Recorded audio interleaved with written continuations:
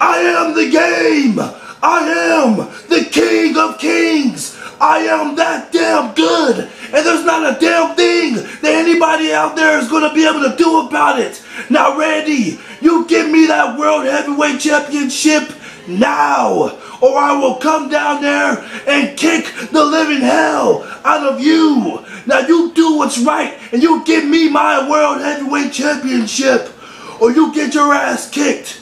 You make the choice, Randy. You either want to get your ass kicked by the 13 time world champion, the king of kings, the game.